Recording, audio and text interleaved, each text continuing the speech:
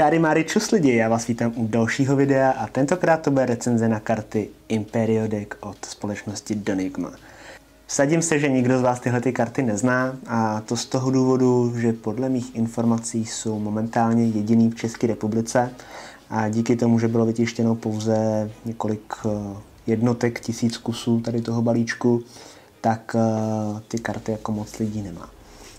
V tom je vlastně krása těch karet, a někomu se nelíbí, ale já jakožto obdivovatel astécké a majské kultury, na který je vlastně založen celý design tady toho balíčku, tak tady ten design úplně miluju. Je to, je to něco neskutečného a já když jsem vlastně viděl poprvé tady ty karty, že mají výjít, tak jsem je prostě chtěl a musel jsem je mít.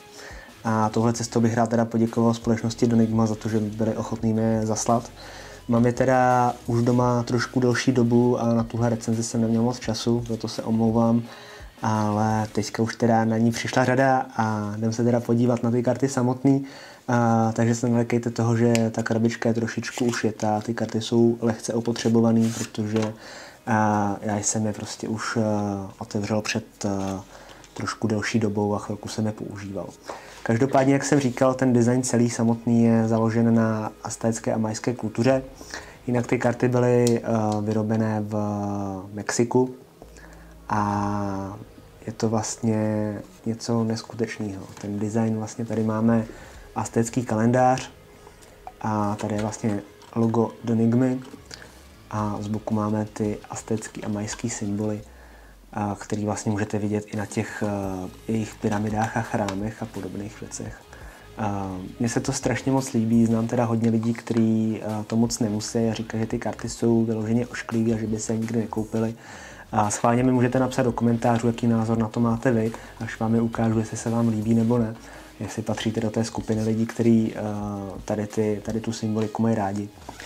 A ty karty jsou všechny úplně něčím speciální. Ta, ty žolici vlastně mají na sobě vyzobrazený a, jednotlivý bohy z té kultury. A jinak a, vlastně tady kolem toho kalendáře jsou a, dva hadi, což jsou vlastně tady ty hadi na tom a, fejsu té krabičky. Jinak, jak jsem říkal, ty karty uh, všechny mají uh, velice specifický design, uh, takovýhle krásný kontrast červené a zlaté na těch kartách červených, na té černé, černá a zlatá. A jinak krom těch žolíků, tak vlastně všechny ty faceové karty, tak na sobě mají ty jednotlivé bohy z těch kultur. Tady prostě Každý, každý ten face je prostě něčím unikátní, nejsou to prostě klasický králové a královny, ale jsou to vlastně jednotlivé postavy z té aztécké a majské kultury. Je to, je to prostě krásný, ale ty esa, ty esa, ty se mi líbí naprosto nejvíc, ty, ty jsou prostě neskutečný. Tady ty krásné, krásné designy za symbolikou, ty jsou prostě nádherný. A jinak co se týče, co se týče materiálu těch karet a tvrdosti a kouzavosti a podobných věcí, tak a, tou kvalitou jsou hodně srovnatelný třeba a, s klasickýma bicyklama. Mají finish, a, jsou hodně dobře klouzaví a akorát mi přijdou, přijdou mi malinko tvrdší než normální bicykly, ale díky tomu jsou vlastně vhodný i na nejrůznější karetní manipulace. Takže vlastně to ocení nejen kouzelníci a sběratelé karet, ale i floulišeři, což je super, takže to jsou vlastně karty pro, pro každého. Každý si v nich najde prostě něco, co mu vyhovuje.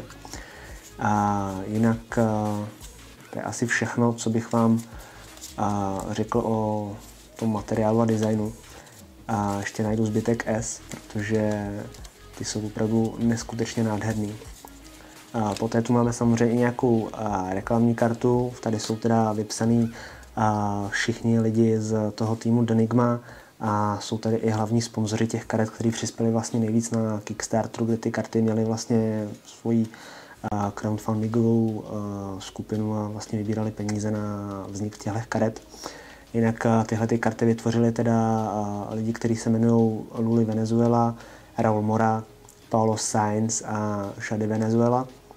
A tyhle ty čtyři lidi vlastně pracovali na tom designu, ale dali dohromady vlastně ty nejhezčí prvky z těch dvou kultur aztecké a majské historie. A vlastně to všechno z té oblasti Mexika, kde byly ty karty vytvořeny. A je tam dokonce i doubleback karta, která se hodí na nejrůznější kouzla, takže pro kouzelníky úplně skvělé karty. A